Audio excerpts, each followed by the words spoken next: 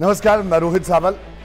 आज मैं आपसे बात करने वाला हूँ उत्तर प्रदेश में। दूसरे दौर का जो मतदान है, उसके लिए चुनाव प्रचार थम चुका है। नौ जिलों की 55 सीटों के लिए 14 तारीख को वोट डाले जाएँगे, सुबह सात बजे से। लेकिन देखिए जो नौ ज़िले हैं और नौ जिलों की 55 सीटें हैं, ये 55 सीटें बहुत कुछ तय करेंगी, क्योंकि आगे के जो पाँच चरणों का जो मतदान बचा है, उस लिहाज से ये दूसरा चरण बेहद अहम है। इससे पहले कि मैं आपको यह बताऊँ कि इस बार किस तरह की स्थितियाँ, परिस्थितियाँ आपको यह जानना बेहद ज़रूरी है कि अगर 2017 की बात करें, जिन 55 सीटों पर 14 तारीख को मतदान होगा, वहाँ पर 38 सीटें भारतीय जनता पार्टी ने जीती थी। वहीं अगर सपा की बात करें तो सपा ने 15 सीटें जीती थी। दो सीटों पर कांग्रेस जीती थी और एक सीट बीएसपी ने जीती थी। लेकिन इस बार बीजेपी के लिए बहुत बड़ी चुनौती है अपने प्रदर्शन को दोहराना। इसके पीछे बड़ी सारी वजह है। वजह यह है कि 2019 के अगर लोकसभा चुनाव को भी अगर हम देखते हैं तो 19 के चुनाव में भी इस इलाके में भारतीय जनता पार्टी का प्रदर्शन 2014 के तुलना में थोड़ा कमज़ोर हुआ था। ऐसे में भारतीय जनता पार्टी के तमाम दिग्गजों ने पूरा ज़ोर लगाया। यहाँ पर खूब रैलियाँ हुई, खूब जुबानी तीर चले। लेकिन अब इसके अलावा यहाँ जानना बेहद ज़रूरी है। देखिए, कई सीटों पर बड़ी ज़बरदस्त टक्कर देखने को मिल रही है।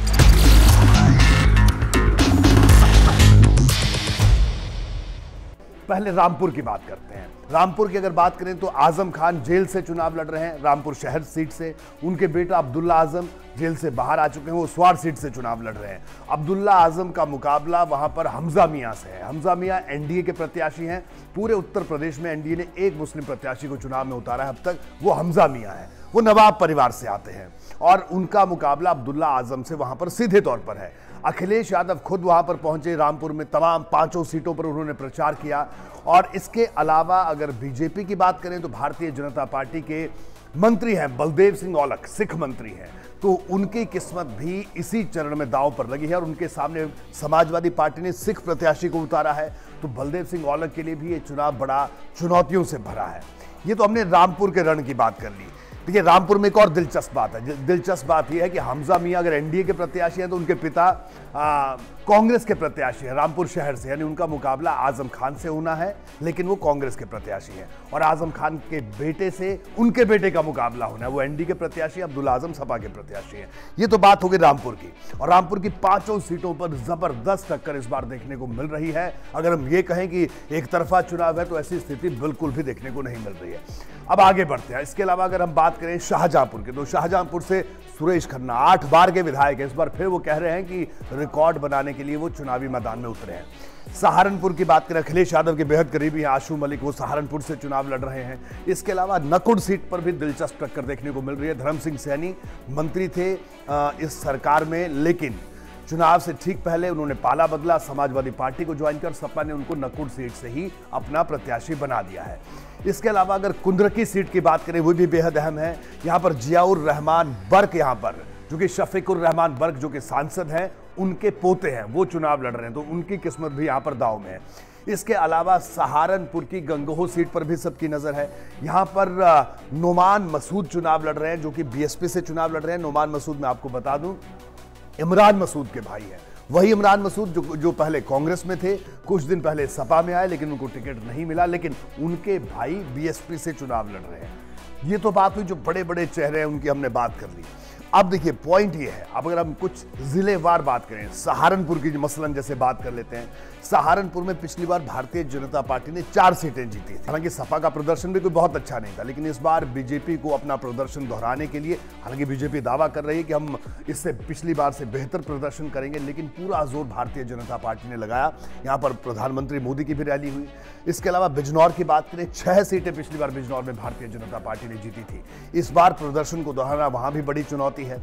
और मुरादाबाद की बात करें तो मुरादाबाद में बीजेपी का प्रदर्शन 2017 में भी कोई अच्छा नहीं रहा था। लेकिन बीजेपी इस बार दावा कर रही है कि मुरादाबाद में इस बार वो इतिहास रचेगी। लेकिन मुरादाबाद में अगर 2019 के लोकसभा चुनाव की बात करें तो वहाँ पर समाजवादी पार्टी के सांसद एस टी हसन जीते थे।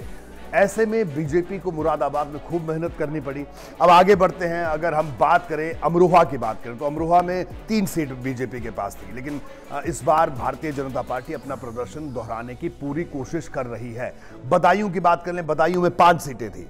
अब देखिए, बदायूं की अगर हम बात करें, पूरे अभी तक जिन जिलों का मैंने ज़िक्र किया तो बदायूं में इस बार जो जातीय जटिलता है, वो बेहद अहम है। OBC voter. देखिए बदायूं से सांसद हैं भारतीय जनता पार्टी की संघमित्रा मौर्य। वो संघमित्रा मौर्य जो कि स्वामी प्रसाद मौर्य की बेटी है। स्वामी प्रसाद मौर्य अब सपा में है। बेटी भाजपा के सांसद है। तो ये जो इलाका है बदायूं और आसपास के इलाका का, यहाँ शाक्य, सैनी, कुशवाहा, इन वोटर्स का काफ़ी प्रभाव है। तो यहाँ पर सपा को लगता है कि मौर्य के आने से उनको फ़ायदा मिल सकता है। इसके अलावा महान दल से भी समाजवादी पार्टी का गठबंधन है, जिसके मुखिया हैं केशव देव मौर्य।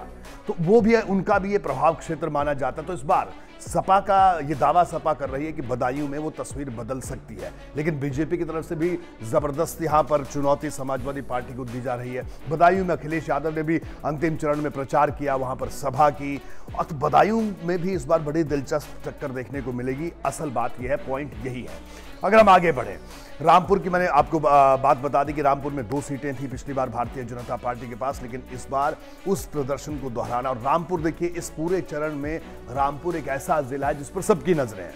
क्योंकि एक तरफ़ आज़म परिवार ये कह रहा है कि हमारे साथ जुल्म हुई, ज्यादती हुई, राजनीतिक द्वेष की वजह से हमारे ऊपर मुकदमेदार किए गए।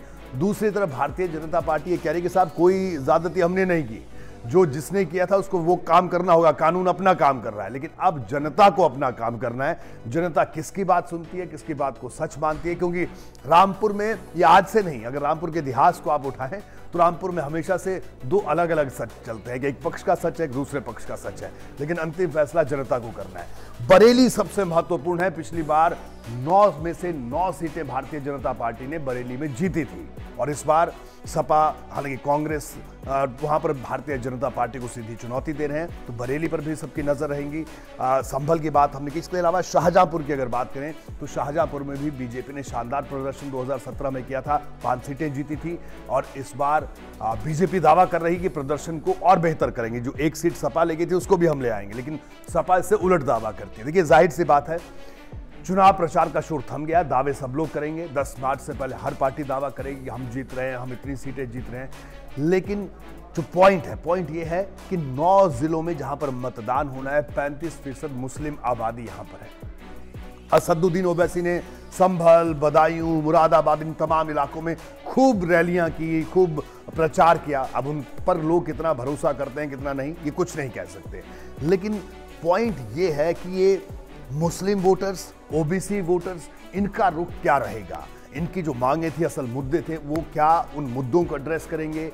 या जाति आधार पर वोटिंग होगी? ये तमाम वो सवाल हैं जो लगातार अब सियासी फिजाओं में घूम रहे हैं। प्रचार खत्म होने के बाद और 10 तारीख तक ये चलते रहेंगे। एक बार एक पॉइंट मैं आपको और बता दूँ। भारतीय जनता पार्टी ने सात अपने सिटिंग विधायकों का टिकट काटा है। क्योंकि भारतीय जनता पार्टी ने एक इंटरनल सर्वे कराया, जिस सर्वे में जहाँ जहाँ सीट पर जो कम, जो कमज़ोर प्रत्याशी लग रहा था, उसको बदल दिया। बीजेपी ने कोई चांस नहीं लिया इस पूरे इलाके में, इस पूरे सेकेंड फ़ेज़ में प्रत्याशियों के चयन में। वहीं समाजवादी पार्टी और आरएलडी गठबंधन की अगर बात करें, क्योंकि गठबंधन दोनों मिलकर चुनाव लड़ रहे हैं दूसरे दौर में भी तो इन दोनों ने भी एक एक सीट पर अपनी घेरेबंदी इस तरह से की है, क्योंकि जिस तरह से मैंने आपको बताया कि ठीक एन वक्त पर धर्म सिंह सैनी को सपा तोड़ कर ले आई अपने पाले में, ऐसे कई प्रयोग समाजवादी पार्टी ने भी किए हैं। तो ऐसे में ये दूसरे दौर चरण का जो मतदान होना है, मतदान का प्रतिशत क्या रहता है, ये बड़ा दिलचस्प रहेगा और नतीजे, नतीजों का इंतज़ार सबको रहेगा, लेकिन दूसरे चरण की कुछ सीटें मैं एक बार फिर आपको बता दूँ कि रामपुर पर सबकी नज़र रहेगी कि आखिरकार रामपुर के नतीजे क्या कहानी बयां करते हैं।